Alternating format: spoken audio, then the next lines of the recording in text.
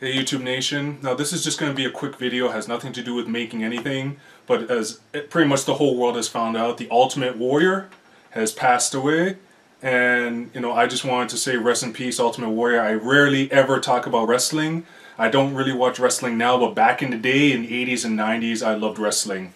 And one of my greatest memories was going with my father to WrestleMania 6 when he was at Toronto, Ontario, and at Skydome, and watching Ultimate Warrior beat Hulk Hogan. It's one of my favorite childhood memories, and I was I was one of the little warriors. I was cheering for the Ultimate Warrior to beat Hogan, even though I am a Hogan fan as well. But when I found out about his passing at age 54, that James was still a young guy, I'm sure we'll find out soon what, what the complication was. I heard he dropped uh, dead in front of his wife walking to his car. But the main thing is that Ultimate Warrior, you were one of my favorite, if not my favorite wrestler back in the day and uh, it's just sad and tragic to see you go.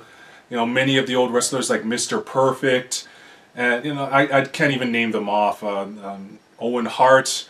There's so, there's so many of them that passed away just far too young. Junkyard Dog. Many many of these old school classic wrestlers.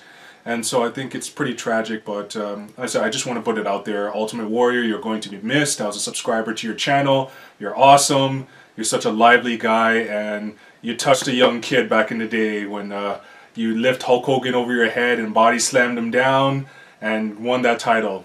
Great memory. So rest in peace, Ultimate Warrior, and for all the Warrior fans there, show your love and respect, and you will be greatly missed.